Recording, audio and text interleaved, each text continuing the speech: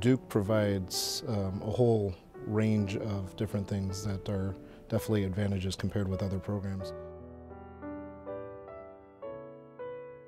Second year we get to go into the ICU and we're taking care of uh, these um, uh, not only our surgical ICU but as well as our cardiothoracic ICU and um, our cardiothoracic uh, division does some very complex cases and you're the primary provider for these patients um, managing um, their hemodynamics, managing their inotropes and whatnot, um, and it really provides a great learning opportunity at a very early um, time in our training.